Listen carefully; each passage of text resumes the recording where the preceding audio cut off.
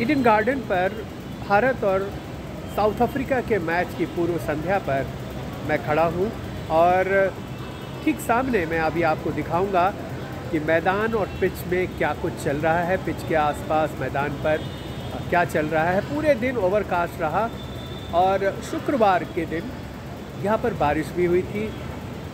गुरुवार को भी थोड़ी बारिश हुई थी।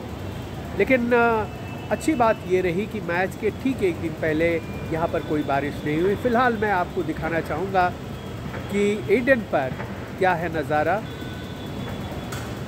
ये देखें पिच को इस तरह से ढका गया है और नज़दीक से मैं आपको दिखाना चाहूँगा।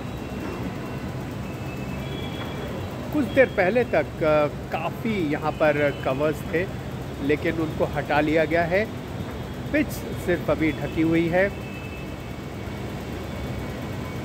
मैदान की दूसरी तरफ़ मैं आपको ले जाना चाहूँगा। यहाँ पर देखिए कुछ छिड़काव चल रहा है। ये छिड़काव कुछ इंसेक्ट्स आते हैं, उनको देख कर भी किया जाता है। और कुछ और भी वजह होती हैं जिस वजह से यहाँ पर इस तरह से ख़ास छिड़काव किया जाता है।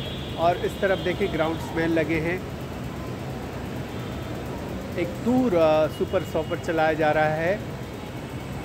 घास काटने वाली मशीन भी चल रही है।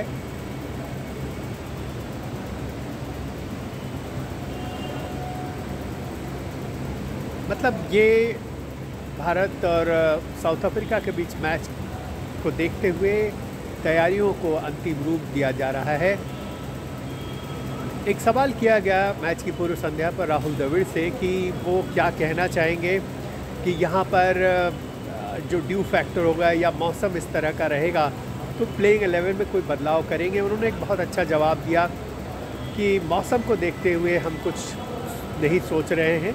क्योंकि वो हमारे हाथ में नहीं है और हम उस हिसाब से नहीं चलेंगे। मतलब उन्होंने एक तरह से संकेत दिया कि प्लेइंग एलेवन में कोई बदलाव नहीं करेंगे और उसी विनिंग कॉम्बिनेशन के साथ उतरेंगे, जिसने पिछले मैचों में भारत को जीत दिलाई है। ज़रूर हार्दिक पांड्या नहीं होंगे, लेकिन उन्होंने कहा कि जो छः बॉलर्स का ऑप्शन होता है, छठा जो गेंदबाज होता है वो बहुत सारे मैचेस में उनके साथ नहीं रहा है। और पिछले चार मैचों की बात करें या इसके पहले की कुछ सीरीज़ की बात करें, कुछ टूर्नामेंट्स की बात करें तो भारतीय टीम ने उसके बगैर भी अच्छा किया है।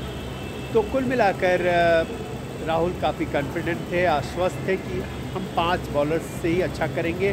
ड्यू फैक्टर क्या होगा या पिछले मैचेस में यहाँ पर लो स्कोरिंग मैचेज हुए हैं, पिछले दो मैच जो हुए हैं, इसके अलावा